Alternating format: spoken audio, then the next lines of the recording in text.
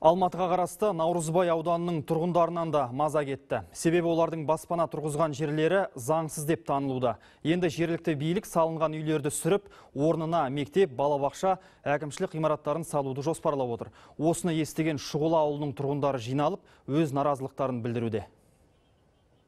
осы уақытқа дейін мен квартирада қаңғып тентіреп келген қазақпын ал мен бала шағамды қаңғып тентіретіп қоймаймын Шұғыла елді мекен тұрғындары ауыл Қарасай ауданына қарап қала құрамына кірмей тұрған кезде пайға үлестірген жерге баспаналарын салып, газ жүргізіп, жарық тартып алған. Алматы қаласының аумағы кеңейіп, Шұғыла ауылы Наурызбай ауданының еншісіне берілгеннен кейін жергілікті әкімшілік үйлерді қоршап тастаған.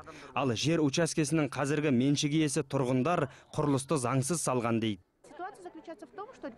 Тұрғындар бұл жерге үйлерін заңсыз салған. Қолдарында жекеменшікке үлестірген туралы құжат жоқ. Аумағы 153 гектарды құрайтын жер бұрын белгісіз біреулердің сатуымен үлестірілген. Қазір мұнда Наурызбай ауданының әкімшілігі мен мектебі салынады деп жоспарланып отыр. объединением и присоединением земель в Норузбайский район.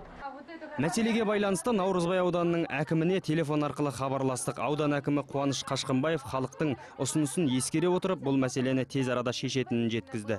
жұмыс тобы құрылды оған өкілетті органдардың мамандары кірді жер қатынастары басқармасы құрылыс және архитектура басқармасын содан кейін газ содан кейін біздің наурызбай ауданының специалисттары кіріп отыр топ мүшесіне содан кейін ана компания застройщиктер адамдар сол мәселені шешу үшін.